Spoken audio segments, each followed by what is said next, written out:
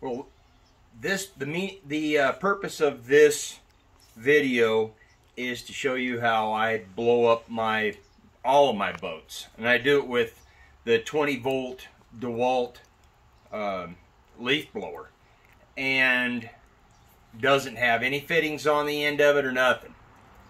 So what I do is you might have to come out here a little bit.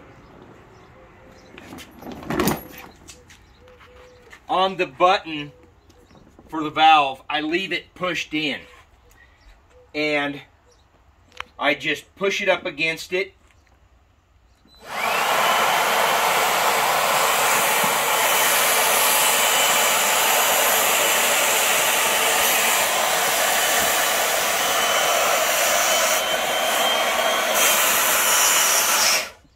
and just as I get it as tight as I can get it with the leaf blower, I just kind of cock it to one side a little bit and then set the valve.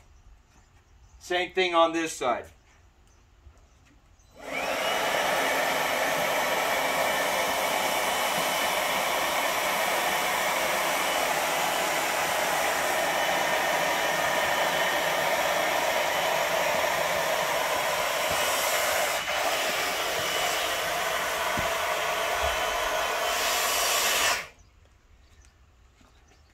That will take your boat to about, I don't know, that's about 90%.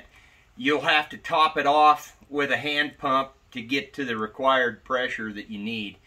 But it's the, it's, I think it only took me 14 seconds to do the second side, and I don't, the first side was, was smaller. So anyway, that's it for this video.